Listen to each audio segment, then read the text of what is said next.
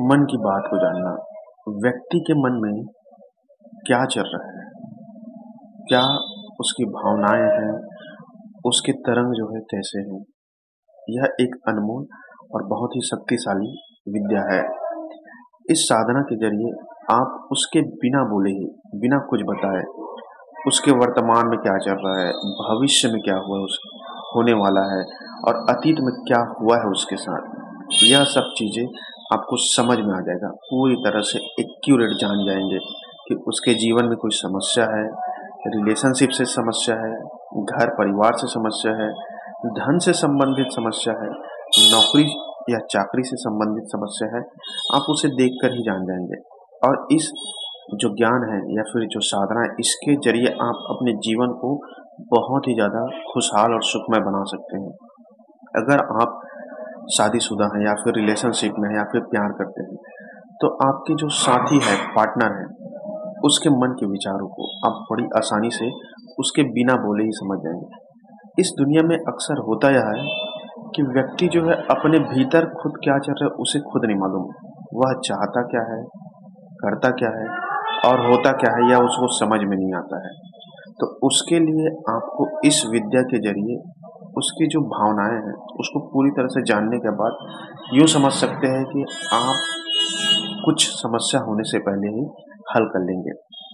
जैसे आप यूँ समझिए, जब इस साधना को करेंगे तो आपके अंदर वह अद्वितीय शक्ति, आपके मन के अंदर आपके जो भीतरी आयाम है, जिसे तीसरी शक्ति कहते हैं, तीसरी आँख की शक्ति कहते हैं, वह इतना जागृत हो जाएगा कि आप उसके ज़रिए उन सब चीज़ों को समझ जाएँगे।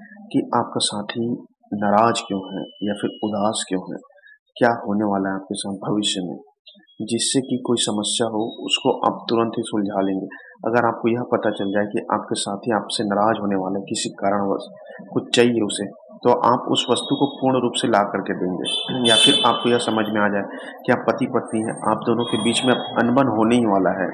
आगे समस्या यह खड़ा होने वाला है, भले ही किसी कारण को लेकर हो, कोई समस्या को लेकर हो, आपको यह दिख जाए तो आप उस समस्या को आने से पहले हल कर देंगे कैसे? जब आपके साथी या फिर पति पत्नी उसके साथ आपकी लड़ाई, झगड़ा होने वाला है या तलाक होने वाला है तो आप उन चीज़ों को नहीं करेंगे जिसके कारण वह स्थिति पैदा होगी। आप जस्ट उल्टा करेंगे, उसका ख्याल रखेंगे, उसे प्यार देंगे। मतलब आप होने वाली चीज़ों को पहले ही आभास कर लेंगे, समझ जाएँगे। और उसके बाद जो समस्या उत्पन्न होने वाला रहेगा, उसे हटा देंगे और आपके जो जीवन में कोई भी समस्या या दिक्कत नहीं आएगी। जीवन एकदम आनंदमय, खुशियों से भरा होगा। लेकिन उसके लिए इसको सीखना ज़रूरी है।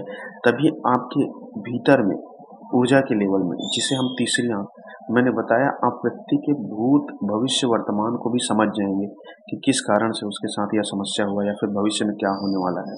इन सब चीज़ों को आप पूरी तरह से जान जाएँगे और यह आपकी तीसरी आँख जो है विकसित होगा इस ध्यान से या फिर इस साधना को करने से। तो इसके लिए करना क्या है? अब इसे ध्यान से सुनिए। सबसे पहली चीज़ आपको अकेला चाहिए, एकांत चाहिए। एकांत में आपको एक गिलास पानी लेना है और यह एक दिन या दो दिन की क्रिया नहीं है। इसे आपको निरंतर अपने जीवन में उतारना होगा, जीवन शैली में ढालना होगा। सुबह सुबह पाँच बजे का टाइम आपको एक गिलास पानी लेना है। और कोई मंत्र जाप नहीं करना, कुछ भी नहीं करना, बस खाली बैठना है। पाँच मिनट पहले बैठे, उसके बाद दस मिनट बैठे, उसके बाद पंद्रह मिनट ऐसे समय को बढ़ाते जाए और ध्यान सिर्फ़ आपको अपने अंदर लगाना है। बाहर कुछ भी चीज़ों में ध्यान नहीं लगाना है।